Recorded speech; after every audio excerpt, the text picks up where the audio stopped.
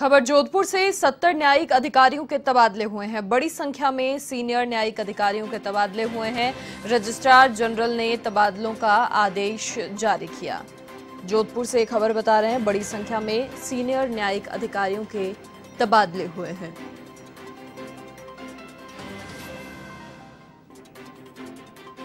Registrar general ने इन तबादलों का आदेश जारी किया और 70 न्यायिक अधिकारियों के तबादले हुए हैं जोधपुर से।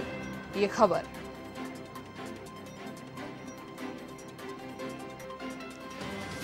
रजिस्ट्रार जनरल की ओर से तबादलों का आदेश जारी किया गया।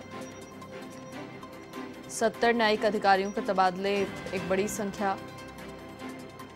रजिस्ट्रार जनरल की ओर से आदेश जारी किया गया।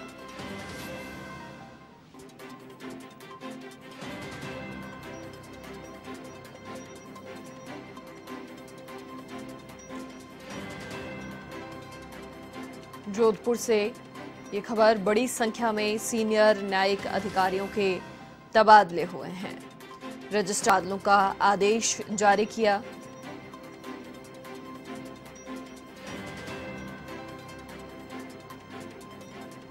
सत्तर न्यायिक अधिकारियों के तबादले हुए हैं। बड़ी संख्या में सीनियर न्यायिक अधिकारियों के तबादले हुए हैं। रजिस्ट्रार जनरल की ओर से आदेश जारी किया गया।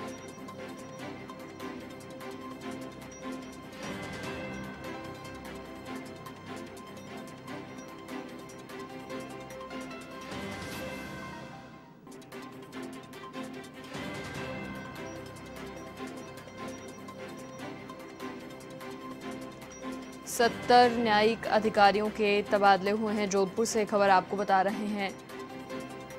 बड़ी संख्या में सीनियर न्यायिक अधिकारियों के तबादले हुए हैं। रजिस्ट्रार जनरल की ओर से ये आदेश जारी किया गया।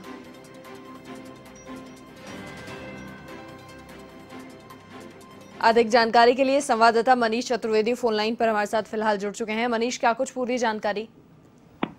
देखिए मनीषा राजस्थान हाईकोर्ट जो जोधपुर प्रशासन है यहाँ पे रजिस्ट्रार जनरल की तरफ़ से आदेश जारी किया गया है और यहाँ पे लगभग सत्तर न्यायिक अधिकारियों के जो तबादले किए गए और कल की डेट में ये आदेश जारी हुआ बड़ी संख्या के अंदर सीनियर न्यायिक अधिकारी हैं इनके तबादले आदेश जारी हुए और बड़ी बात यह है कि पिछले दस ग्यारह दिनों की हम बात करें तो दूसरी बात ये जो लिस्ट जारी हुई है इससे पहले छह मार्च को जो है आदेश की जो ट्रांसफ़र लिस्ट जारी हुई थी और इसके अंदर। तेईस न्यायिक अधिकारियों के तबादले किए गए थे और जो पहले न्यायिक अधिकारी को जो तबादले किए गए थे, तेईस न्यायिक अधिकारियों के वो डीजे खंड के न्यायिक अधिकारी पर अब जो सीनियर न्यायिक अधिकारी है, और और राजस्थान के अंदर तो करीब सत्तर न्यायिक अधिकारियों के जो है, ये तबादले किए गए और अब दूसरी बार जो है रजिस्ट्रार जनरल की तरफ़ से ये है तो लिस्ट जारी की गई है।